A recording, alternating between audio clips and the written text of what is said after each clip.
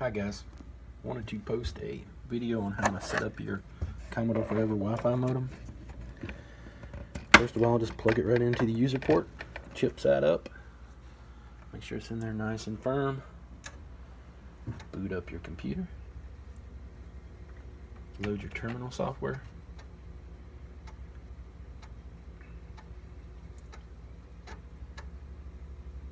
using uh, CCGMS 2017 version 6. Uh, first thing you do is enter the settings menu, press F7. We need to change our modem type to user port. Change the baud rate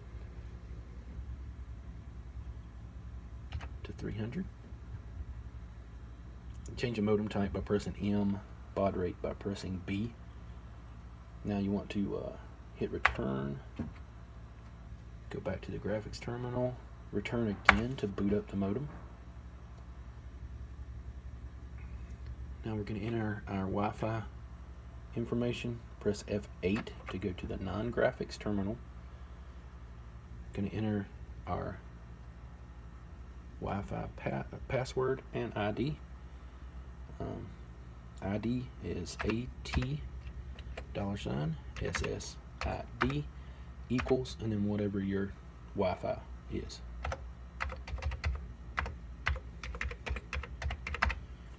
Press return, you get an OK response. Now for the password, AT dollar sign pass equals whatever your password is.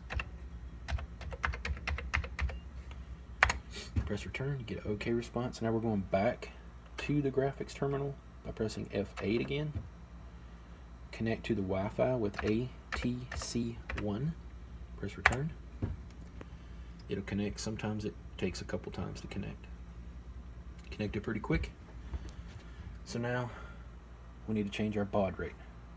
We have to prepare the system if we're going to go to 9600, which is what I'm going to do.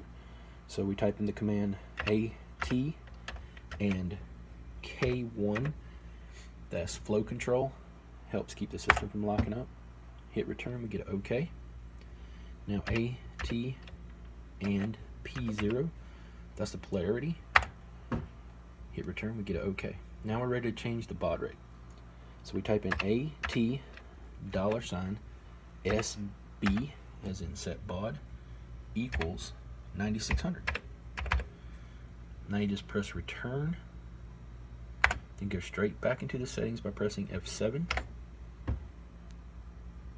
Change the modem type with M to UP 9600. Change the baud rate to 9600. Press S to save these settings. We'll save it as default by just pressing return.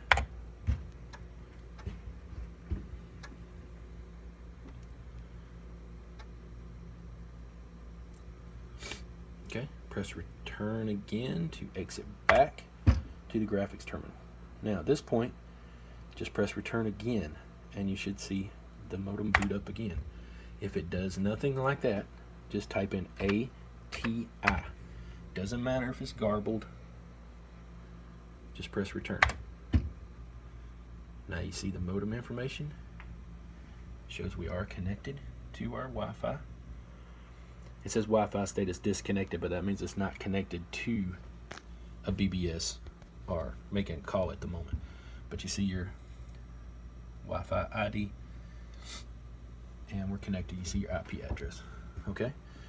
Now we want to save these settings to the modem so we don't have to do it anymore. We type in A, T, and W. That will save the settings to the modem. Now they're saved. Okay, I'm going to clear the screen with clear home. Press return. Get an error, but that's okay. So we're going to see what our settings are. AT and V will show you your settings. Shows that we're at 9600 baud. Shows our Wi-Fi ID and password. These are our speed dial locations. These are ones that are preset in here.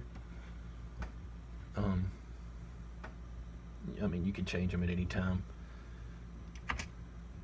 And to see your commands that are available to you, type in AT question mark.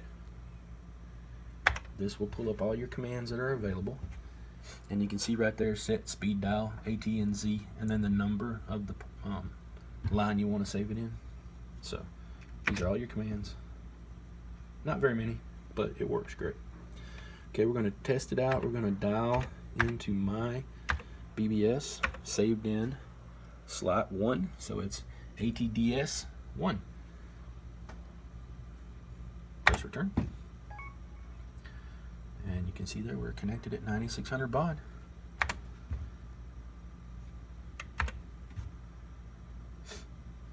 And if you're new to the BBS, when it's asking for your member number, just type in new let you register. Once you're registered, you can post, ask questions. Check it out. Hope this video helps.